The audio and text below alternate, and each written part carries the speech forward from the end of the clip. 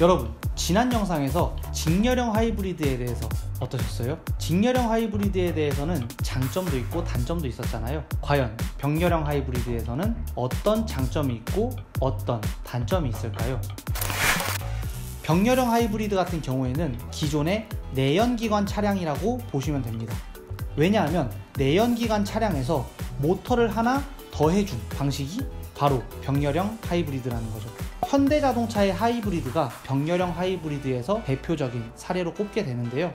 이 현대자동차의 병렬형 하이브리드 시스템은 어떻게 구성이 되어 있냐면 엔진과 트랜스미션 사이에 모터가 하나 추가되게 됩니다. 그렇게 되면 이 엔진이 동력을 구동을 시켜줄 수도 있고 때에 따라서는 모터가 구동을 함께 도와줄 수도 있겠죠. 그러면 이러한 병렬형 하이브리드 같은 경우에는 어떨 때 모터를 사용하고 어떨 때 엔진을 사용을 할까요? 자동차가 초기 시동 시에는 엔진이 작동하지 않고 모터만 작동을 하게 됩니다. 왜냐하면 엔진의 효율점이 매우 안 좋은 점에서 작동을 하게 되어 있어요. 그렇기 때문에 자동차가 처음 굴러가기 시작할 때 엔진이 작동을 하게 되면 엔진의 연료 소모율 자체가 매우 안 좋은 점에서 작동을 하기 때문에 이 점에서 도망가 버릴 수 있게 모터만이 혼자 구동을 해주게 되는 거죠.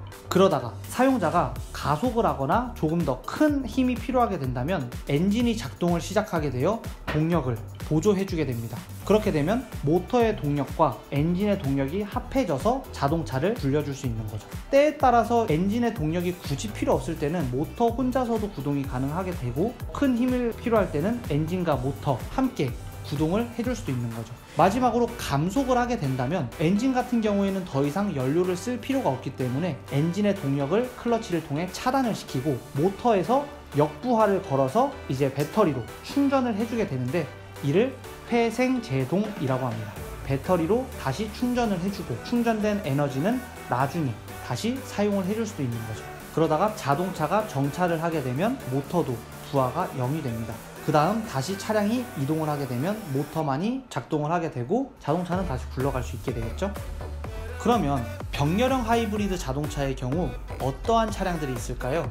병렬형 하이브리드 같은 경우에는 현대자동차가 가장 많은 생산을 하는 걸로 알고 있고요. 일본의 경우에서도 혼다 하이브리드 시스템이 병렬형 하이브리드 시스템입니다. 그러면 이 병렬형 하이브리드 어떤 장점이 있을까요?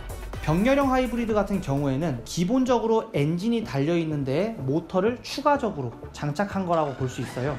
모터가 엔진의 동력을 보조해 줄 수 있기 때문에 모터의 크기가 작게 유지를 할 수 있습니다. 그리고 또한 기본적인 내연기관 시스템에서 모터를 얹었기 때문에 이 모터는 자동차의 트랜스미션, 변속기를 사용을 할 수가 있어요. 따라서 모터가 작은 힘으로 굴러가도 변속기 이후 단에서 큰 힘으로 구동축을 구동할 수 있는 힘을 만들 수도 있고요. 모터의 크기가 직렬형보다 훨씬 더 작아도 되는 장점이 있습니다.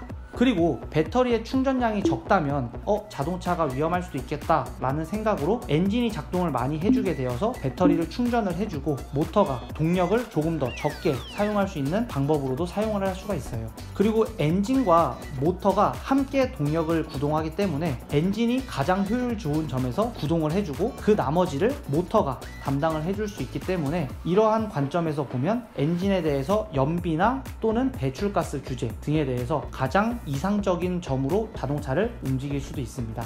그러면 이렇게 좋은 장점이 많은 병렬형 하이브리드 과연 좋은 점만 있을까요? 병렬형 하이브리드의 단점의 경우에는 엔진과 모터가 협조 제어를 잘 해가지고 차량이 필요한 에너지를 적재적소에 잘 분배를 해줘야 돼요.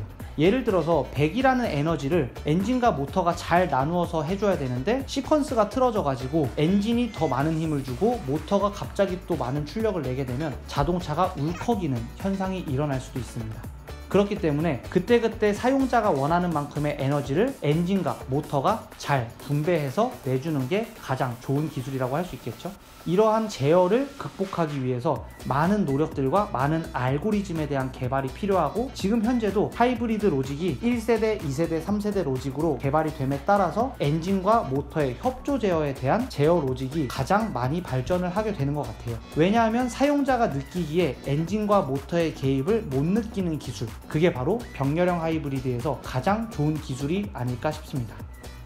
지금까지 병렬형 하이브리드의 장점과 단점을 알아보았는데요. 장점과 단점을 보시면 작은 모터를 사용을 할 수도 있고 엔진과 모터의 협조 제어를 통해서 연료가 가장 좋은 점에서 작동을 할 수 있다는 장점이 있었습니다. 하지만 단점으로는 협조 제어에 대한 로직이 잘 꾸며져야지 사람이 운전을 할 때 이질감을 느끼게 운전을 할 수 있다는 단점이 있는 거죠. 이러한 개선점들이 모여서 점점 더 좋은 차량이 나오지 않을까 싶습니다.